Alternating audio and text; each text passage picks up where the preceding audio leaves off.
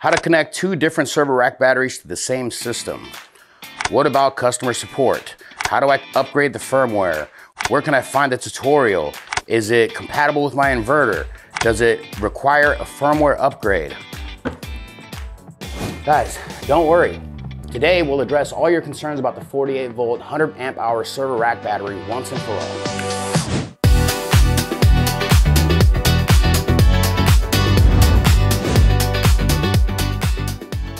If you want to connect eco-worthy server rack batteries to an existing system, here's what you need to know. In most cases, batteries from different brands cannot communicate with each other, but you can still use them together as long as you pay attention to the following points. First, the battery specifications must be the same. Only batteries with the same specifications can be connected in parallel. Eco-worthy batteries are made of a 16 series LiFePO 4 cells with a capacity of 100 amp hours. Therefore, any battery connected in parallel must also be a 16 series LiFePO battery with a capacity of 100 amp hours. Before connecting, make sure all the batteries are at the same resting voltage level.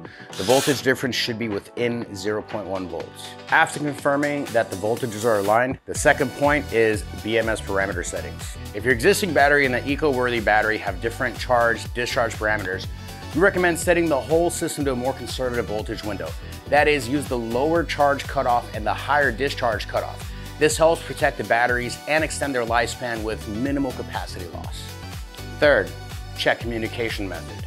When you connect batteries from different brands, the system can work in two ways, open loop or closed loop. In an open loop setup, there's no data exchange between the batteries and the inverter. Everything just runs based on voltage and current settings. The eco-worthy battery simply joins in and works alongside your existing system.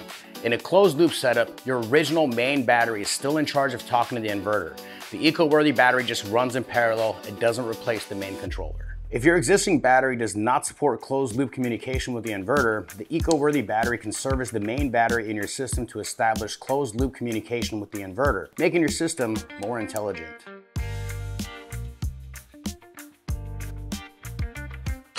Many customers wonder which inverters can work with eco-worthy batteries in closed-loop communication.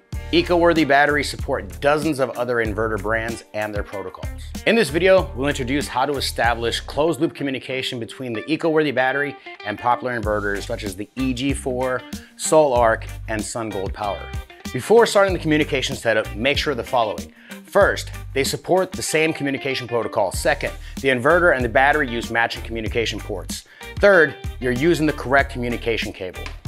On the eco-worthy server rack battery, both the RS-85 and the CAN ports can be used to connect with inverter. By default, the communication protocol is set to Pylon, which is the most widely supported battery to inverter protocol.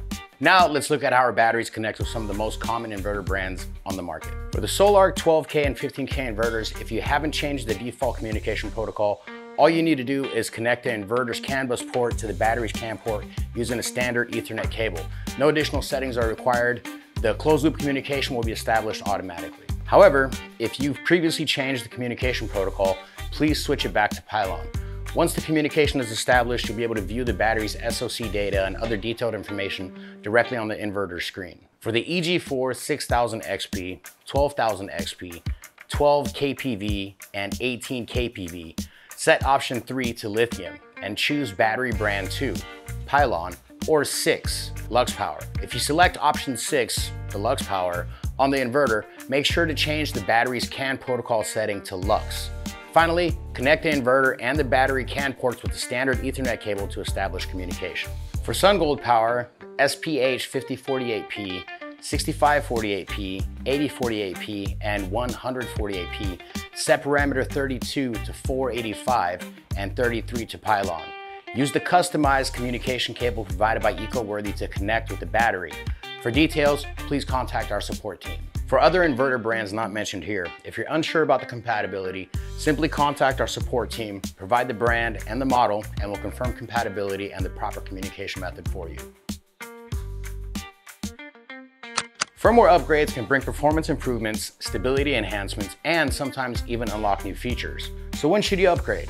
If a new version fixes known bugs or improves compatibility, we recommend upgrading. But if it only adds support for hardware you don't use, upgrading isn't necessary. For detailed firmware upgrade steps, please check out our previous video. It shows exactly what tools you'll need, where to download the software, and walks you through the entire process. If you still encounter any problems, feel free to contact our support team for assistance. And that's our FAQ breakdown for the EcoWorthy 48 volt 100 amp hour server rack battery. If you still have questions, leave them in the comments down below. Don't forget to like and subscribe, and we'll continue to bring you practical energy solutions. Thanks for watching.